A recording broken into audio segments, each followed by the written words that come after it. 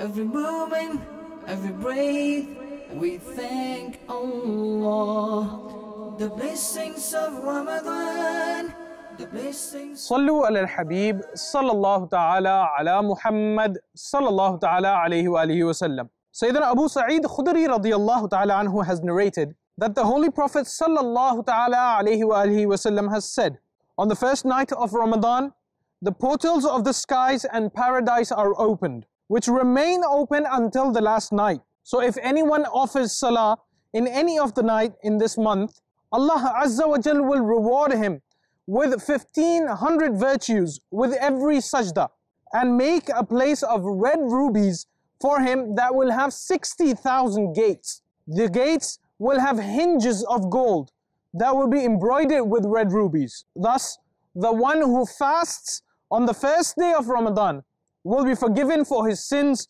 until the last day of the month. And 70,000 angels will ask for his forgiveness from morning till evening. Each time he prostrates during day or night, he will be granted a tree in heaven. And each tree is so huge that a horse rider can ride under its shadow for 500 years. Dear viewers of Madani channel, what an enormous favor Uh, our Hannan and Mannan, Allah Azza wa Jal, has blessed upon us by granting us this blessed month of Ramadan. It is this month in which all the portals of heaven are opened and the reward for good deeds is greatly increased.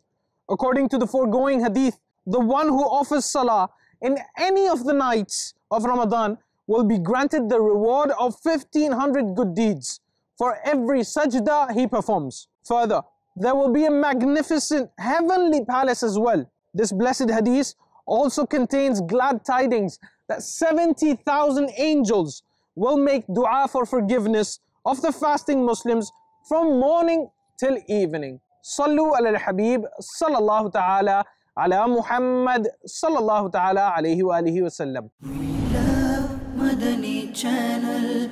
We love Madani channel. We love Madani channel.